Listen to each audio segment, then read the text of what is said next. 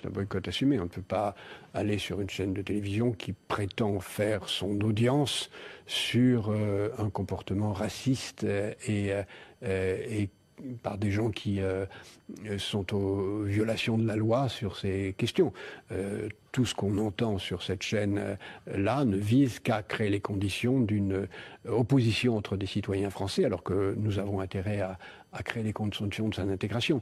La, la France est le pays d'Europe qui est le plus confronté à la question de la juxtaposition des communautés. Si on ne réussit pas, c'est la guerre civile en France. Si les Français sont obligés d'élire mm. quelqu'un qui n'a pas de programme et dont ils ne veulent pas, ils seront déçus le lendemain. Et je vous le dis, il y aura une révolution dans ce pays avant 2022. Il y aura une révolution dans ce pays. Donc tout ce qu'on fait ici, c'est pour créer les conditions pour que cette révolution, qui n'amènera que le pire, parce qu'elle amènera une réaction euh, euh, dans le sens contraire, euh, qui sera forcément très négative.